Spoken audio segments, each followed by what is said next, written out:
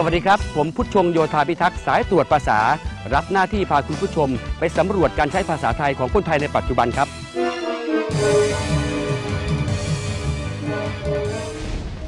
วันนี้สายตรวจภาษาพาคุณผู้ชมมาที่จังหวัดพระนครศรีอยุธยาครับ เป็นจังหวัดที่มีวัดเก่าแก่อยู่มาก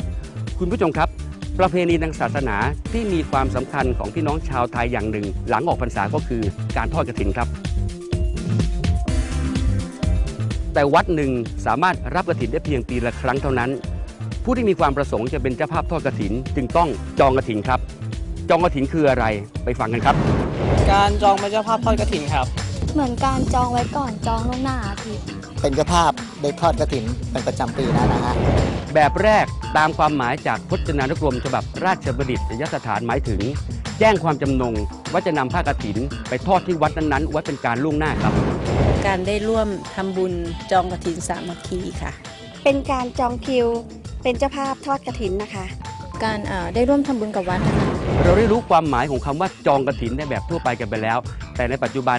ได้มีอีกหนึ่งความหมายที่เกิดการเปลี่ยนแปลงของภาษาครับ จองเวรจองกรรมหรือเปล่าคะ คาดโทรไว้ล่วงหน้าครับ จองตัวไว้ก่อนเลยกำหนดการล่วงหน้าไว้ว่าเราจะทำสิ่งดีๆ อะไรในวันข้างหน้าอะไรอย่างเงี้ยค่ะ จองตัวอะไรเงี้ยครับ น่าจะหมายถึงการขู่ว่าจะลงโทษเมื่อทำผิด แบบที่ 2 ในความหมายที่เกิดจากการเปลี่ยนแปลงทางภาษาที่คนไทยมักนิยมใช้กันในปัจจุบันครับ หมายถึงการจองตัวเพื่อทำเรื่องใดเรื่องหนึ่ง มักใช้ในทางที่ไม่ดี อย่างเช่น พ่อจองกระถินลูกที่ไม่ยอมทำการบ้านว่า กลับจากทำงานจะต้องถูกทำโทษครับ สำหรับคุณผู้ชมท่านใดมีคำถาม หรือข้อสงสัยเกี่ยวกับภาษาไทย ส่งมาถามได้ที่แฟนเพจของรายการเรานะครับ วันนี้รายการสายตรวจภาษาหมดเวลาลงแล้ว พบกันได้ใหม่คราวหน้า สวัสดีครับ